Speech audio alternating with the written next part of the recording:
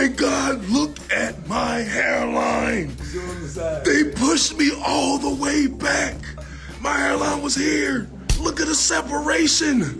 Then when I tied my hair up, it just made me go back even further. I said, yo, you about to cut off my dreads? Stop. So I gotta tell y'all an experience of mine, and it's okay. Experience is the best teacher in life.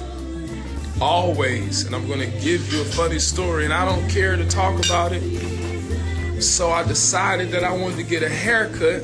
And look at my hair, y'all. Look. Oh my God. Oh my God. Look at my hairline. They pushed me all the way back. My hairline was here. Look at the separation. Oh my God. They pushed me way back. One, two, three, way. Two, two, three, way. Bruh. And then when I tied my hair up, it just made me go back even further. They got my size and he just went ham. Yeah, yeah, yeah, yeah, yeah, yeah. I said, yo, you about to cut off my dreads? Stop. Oh my God. It was crazy, y'all. He kind of brought me back to life. He shaped me up a little bit, cleaned my hair up, but I still got my hairline pushed back, so it's gonna be way back here for probably about a week and a half. Next time I see that barber, hey. Eh, eh, eh, but I still love you, dog. I know you never cut my hair before. It is your first time. You probably was a little nervous. So we're gonna let you get a pass, bro. And it was an experience for me. So remember, I said experience is the best teacher.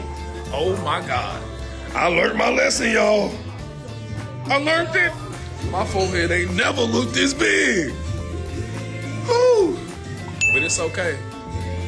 It's okay. It's okay. It's okay. I still love you, dude. I know you messed up my hair, and most people will get really, really, really, really, really upset if somebody messed up their hair.